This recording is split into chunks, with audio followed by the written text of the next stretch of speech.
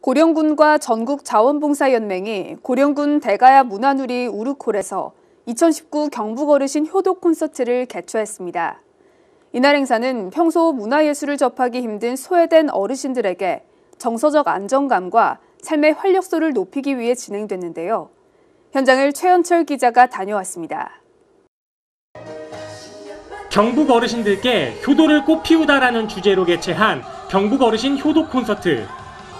전국 자원봉사연맹은 행사를 통해 노인들의 사회성을 이끌어내고 정서적 박탈감과 문화적 소외감을 탈피시키기 위해 이번 행사를 마련했습니다. 이번에 어르신들 660분 정도 모시고 이제 행사를 개최하게 되었는데요.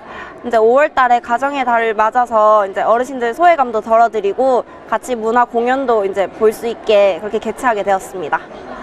평소 문화 공연을 접하기 어려운 어르신들의 발길이 하나둘씩 행사장으로 이어졌습니다.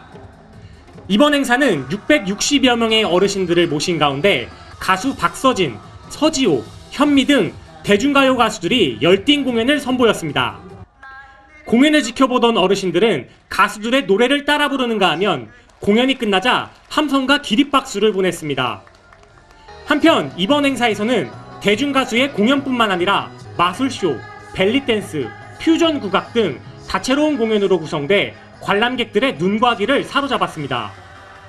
평소 때 이런 공연이 안 보다가 보니까 기분이 너무 좋고 집에서 우울증 빚을 왔는데 마음이 너무 감사하고 좋아요.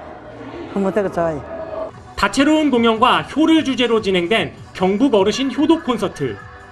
이번 행사는 경북 지역 어르신들에게 진한 감동과 잊지 못할 추억을 선사했습니다. HCN 뉴스 최현철입니다.